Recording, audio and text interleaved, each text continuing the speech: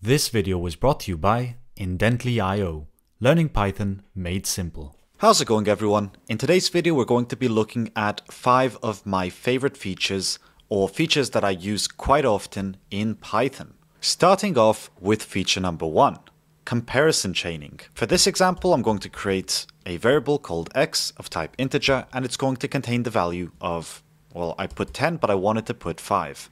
Next, I'm going to check whether x is greater than 10 and whether x is less than 20. And if it is, we're going to print perfect. Oh my god! I just learned that auto format changes all my single quotes to double quotes.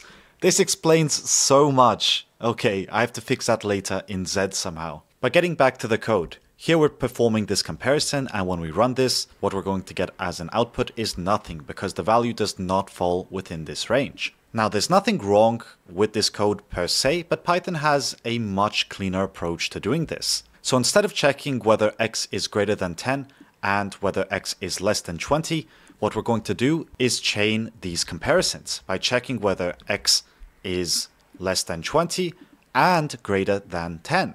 And this time we're going to change x to 15 and we're going to rerun the code. And that's going to output perfect because x falls within this range. And you can also use other operators such as is equal to.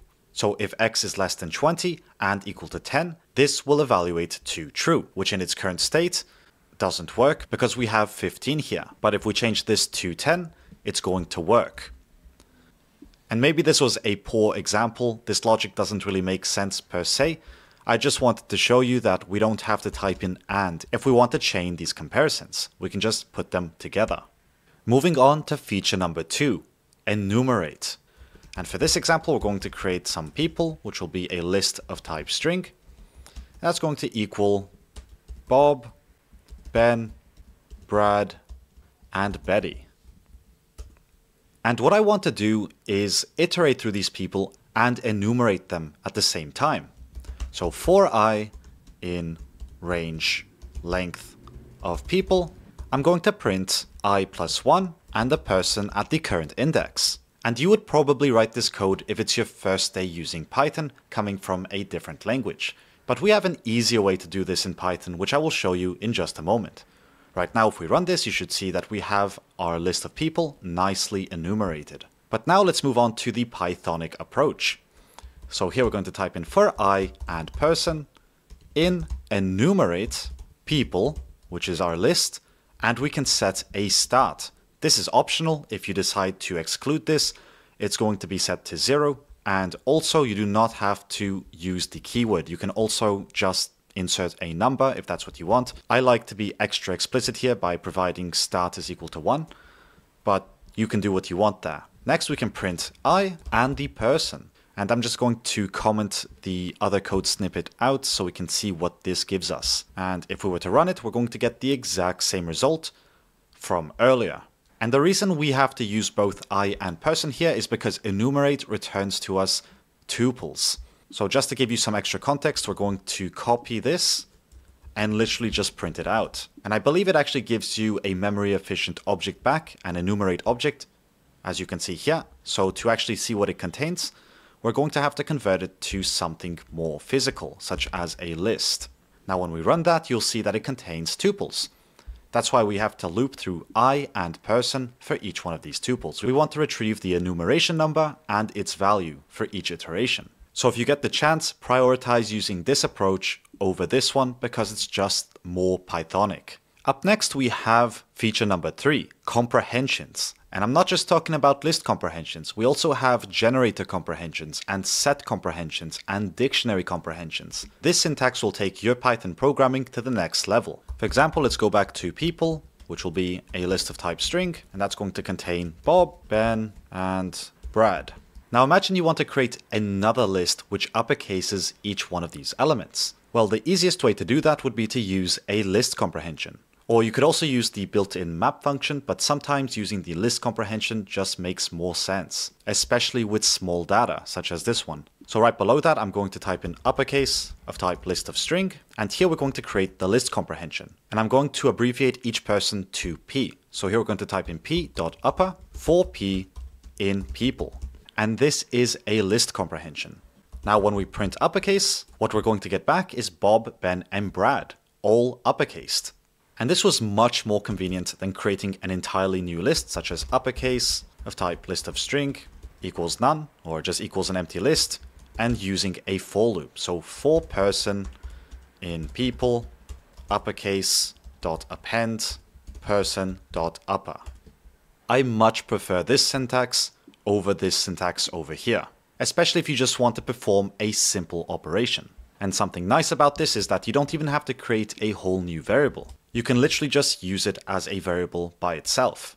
But yeah, this isn't a dedicated tutorial on list comprehension, so if you're curious about how they work, I'm going to leave a link in the description box down below so you can learn about them. Otherwise, let's jump on to generator comprehensions, set comprehensions, and dictionary comprehensions. So for the next example, we're going to create a generator, which is going to require me to import the generator type from typing because I love using type annotations and we're going to yield an integer. We're not going to send anything inside it and we're not going to return anything. And that's going to equal x for x in range 10. Just by using parentheses, we're creating a generator comprehension.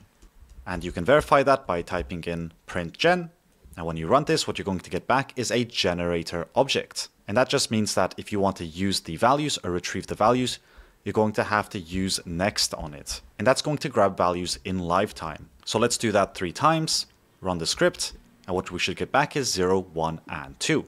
Also, as a side note, if you aren't familiar with type annotations, you are not required to use this. For developers like myself who enjoy the benefits of type safety, I choose to annotate everything I can. And then I pair it with a static type checker to get the benefits of type safety. But after generator comprehensions, we also have set comprehensions. So here I'm going to create something called unique of type set of integer. And to create a set comprehension, you just have to use the curly brackets. And then you can type in something such as x for x in 1, 1, 1, 2, 2, 3, 3, 3. Just insert something that has some duplicates so that when you run this, or when you print it, you'll see that it's going to remove those duplicates via list comprehension. And this probably wasn't the best example because you could obviously just wrap this in set and you'd achieve the exact same result. But I just wanted to show you that you could create set comprehensions just by using this syntax, in case you have some extra logic you want to include. For example, you can multiply x by 2, so that when you run this, it's going to remove the duplicates and multiply each result by 2. And finally, we have dictionary comprehensions. So here I'm going to create a tuple, which will contain a tuple, and each tuple is going to contain a string and an integer. And that's going to be an arbitrary amount of tuples. Then inside here, we're going to include A, 1, B, 2, and C, 3. Next, we're going to create some data, which is going to be of type dictionary of string to integer. And here to create a dictionary comprehension, we just have to include a key and a value pair. So k and v for k, v in the tuple that we created. Now when we print the data, what we should get as a result is A1, B2, and C3. And once again, there was nothing special being done here. I mean, you could literally just print the dictionary of T and since this is in the form of a key and value pair, it's going to convert it into a dictionary for us without any special magic. But with a dictionary comprehension, you can do cool things like multiplying the value by 2 and uppercasing the key. So you can add some extra logic inside here, which means that when we run this, we're going to get back something like this. And as a final disclaimer, be careful with what you do inside here because you can easily make this illegible. And personally, I will always prioritize readability over these special tricks, but they're still very good to know about in case you have something simple that you want to create. Up next, we have the with block or the with keyword, which is an amazing piece of functionality that helps us work with context managers. For example, we might have a file and this file is going to be called secret.txt. Now to open it, we can type in with open file in write mode as f. And inside here we can print or we can write Bob was here. Directly below it, we're going to type in with open file in read mode as f, and we're just going to print the content. So f.read. And when we run this, what we should get as an output is the content of the file, which is Bob was here. And since we created the file, we can safely remove this line over here. Because now the file exists and all we want to do is read from it when we run the script. But that doesn't really explain what I did here, or why the with block is so cool. Well, what's cool about the with block is that once again, we are using a context manager here to handle this file, which means we're opening a stream and performing changes to the file while it's open. Now, if anything goes wrong inside here, let's pretend the file gets corrupted or you try to perform an operation that doesn't work, the file is going to close automatically. We don't have to worry about opening and closing the file it's going to take care of that for us. If we were to manually open up the file, so if we were to type in file, and here we're just going to open this in read mode, and this has to be of type text IO, because now it's a stream. But if we were to do this, we would have to take care of all the steps, which means if we want to read from it, we can do that, and we can print it,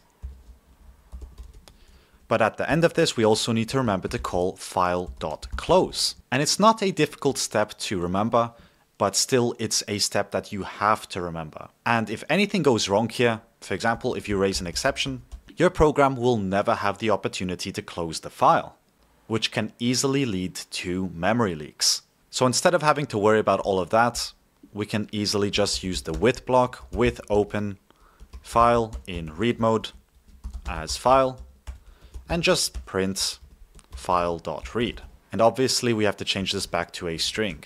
And we're getting some syntax highlighting here because this should be f. But otherwise, once we have all of that, we can run the script and we're going to get Bob was here once again.